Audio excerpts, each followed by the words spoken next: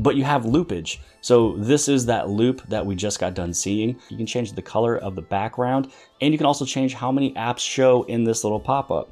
Hey everybody, welcome back to Jimmy's Promo and today we're going to talk about a brand new addition to GoodLock 2020 that just showed up this morning and it's called Home Up. This is a way that you're able to enhance and further customize your One UI home experience.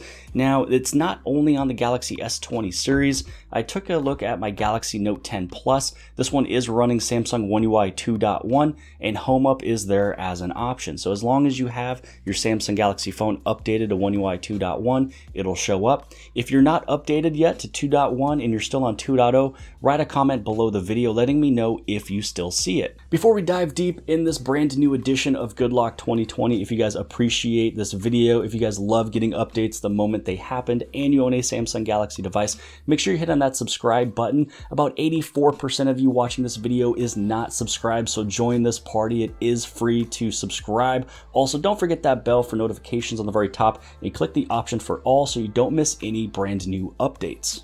Now, once you open Home Up, just turn this one on and there is three different categories. The first category that I want to talk about is the one on the bottom, which is backup and restore. It's a way that you're able to restore your previous home screen settings because this one is a way that you're able to change a lot of settings with home screen and folder. So let's say that you love the way that you have yours set up right now. Turn this one on and then hit immediate. So then this way you can immediately save everything that you have set up right now. And then this right here, let's say that in the future you made any type of changes, you wanna go back to the original, you can just tap this one and it brings you back. Or let's say you made a few changes here in just a couple seconds, you love that setup, you can also save that one as well. So you have two different uh, home screen backups that you can go back to to restore. So now that we got that one out of the way, I'm going to turn it off for now because I don't need it to update every single day. Uh, I'll probably update it once I have it looking perfect here in a minute.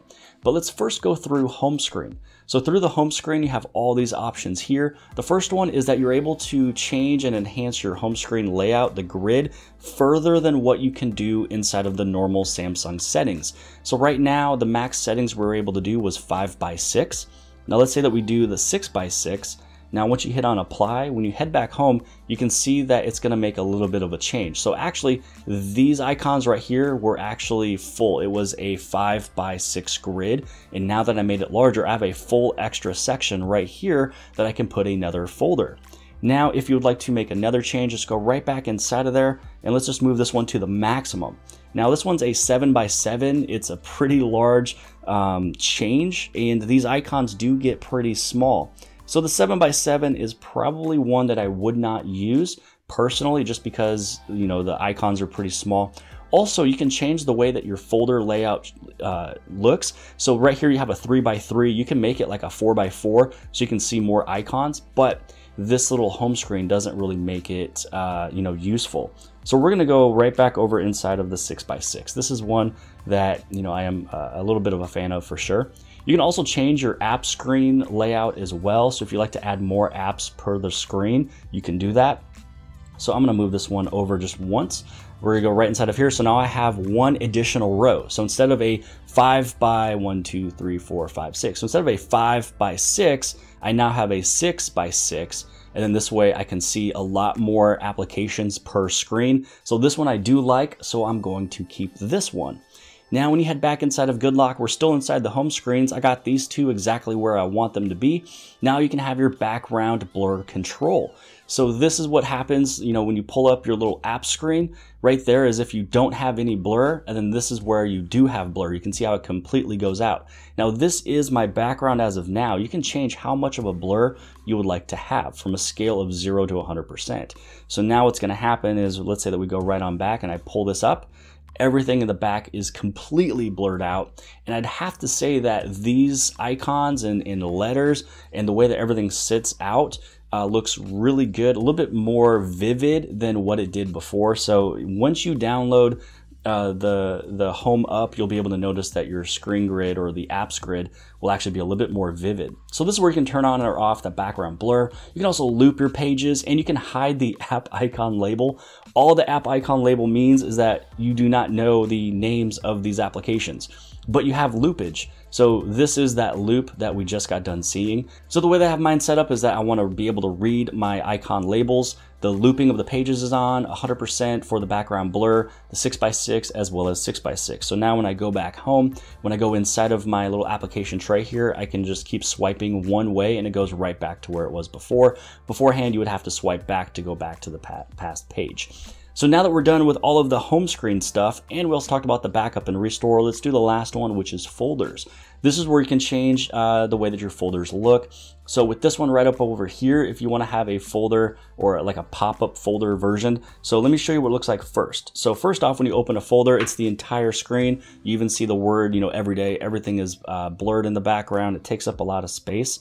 Now, when you go right back inside of GoodLock, when you pop when you pop up this little pop-up folder, then it's going to show this little thing right here. You can also change the color of the letters. If you want it to be white or black, you can change the color of the background. And you can also change how many apps show in this little pop-up. So you can change, uh, you know, you can see that even though my folders, you know, is green, gray, yellow, it's always going to pop up that color because that's the way we have it set up. So let's just go right back inside of here of the settings because even though this one is turned on, you can still tap right here. And then this is where you can change the color. If you want it to be a white color or black color, this is where you can change uh, any of these little pastel-like type colors or the entire color grid if you want a specific color to pop up.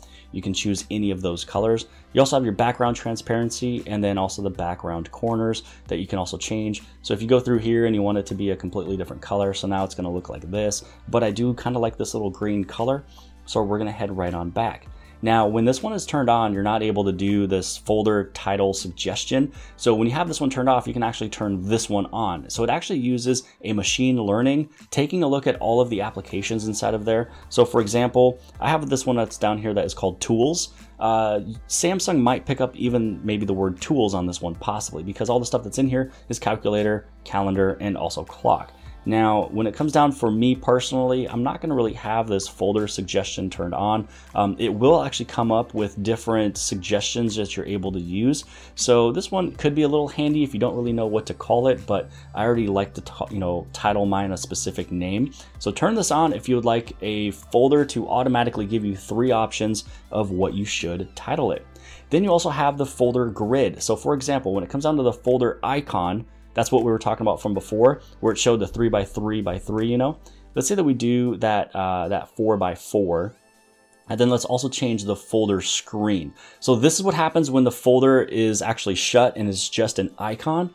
And then this one over here is what happens when it's opened. So let's head right on back home. You can see that there's multiple icons here. It's that four by four instead of the three by three. That's why if you had that, that home screen as a seven by seven, these would be super small. So even if you didn't go to that home screen of six by six, you went to a five by five, these icons would be quite a bit larger. Now, when you tap it open, you're gonna have that larger small menu that pops up that shows you more icons. So let me show you really fast what I mean when you change the home screen. So you can see how we made the app icons more uh, within that one showing. Let's go back into this, move back over into home screen. Let's do our home screen grid. Let's move it back over into that. Let's do that five by six. That'd be fine. So now when you head back home, you can see how it's a little bit larger of a folder. That small little circle that was here, that was empty space is now filled up. And then now these icons are just slightly larger. So this is where you can go through, fully customize everything on your phone from your application folder that you're able to loop around, how many icons you want. You can change the grid even more than what you were from before. Uh, home screen, you can go beyond what the settings were originally supposed to be done with.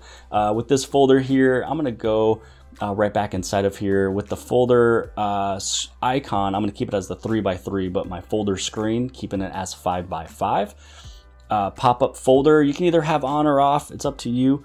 Um, so when you do try to change your grid of what it looked like, it'll be turned off because you're gonna have it in pop-up form. So if you're somebody who likes to see more and more on your screen, keep that one off change your folder, the, the folder grid where the folder screen goes a little bit larger, and then you'll be good to go from, you know, what it was from before. But I hope you guys have liked this video. If you guys did, please give this thing a huge thumbs up. Don't forget to hit on subscribe. Subscribe right over here on the very bottom left-hand side.